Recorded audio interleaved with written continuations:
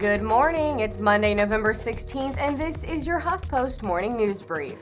France has responded to Friday's terror attacks in Paris with a bombing campaign against ISIS. Warplanes dropped at least 20 bombs on the terror organization's self proclaimed capital in Raqqa, Syria. A massive manhunt is underway for at least one suspect expected to have had direct involvement in the Paris attacks that killed over 130 people. The tragedy in Paris dominated Saturday's Democratic debate as candidates focused on the fight against ISIS. It cannot be contained, it must be defeated. What we need to do is lead an international coalition which includes, very significantly, the Muslim nations in that region.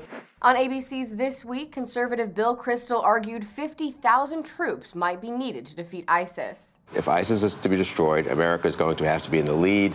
You can do a lot more from the air, but you are going to need troops on the ground.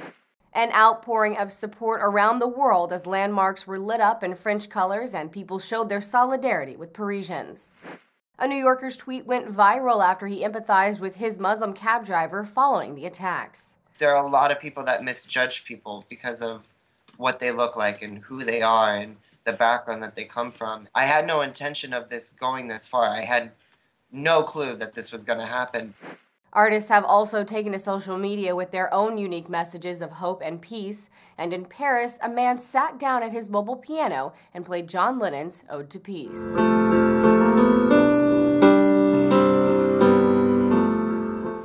That's the news you need to know. Consider yourself briefed.